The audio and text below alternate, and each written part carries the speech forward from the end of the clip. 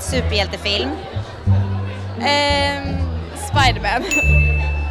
Och vilken superkraft skulle du vilja ha? Varför? Jag skulle vilja kunna vara osynlig. Eh, Ja, varför? För att ehm, man skulle kunna så här, fly iväg när man ville, typ lite som Harry Potter när han bara tar på sig sin mantel. Typ, ja, det verkar coolt. Det skulle jag vilja kunna göra. Och vad skulle ditt superhjältenamn vara då? Ehm, jag, jag blir kallad för Lucky nu, det skulle väl vara ganska coolt att ha det som namn också, alltså Lucky. Okej, du har 20 sekunder på dig. Kan du nämna alla Marvel-filmer du kan? Börja nu.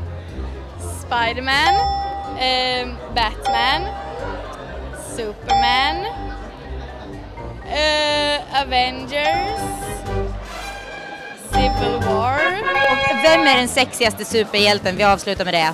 sexigaste. Oj, vem kan det vara? Ja men eh, Superman. Ja, Han är ju så, han har ju värsta musklerna och grejer du, det är nice. han är trevlig. Tack så mycket. Tack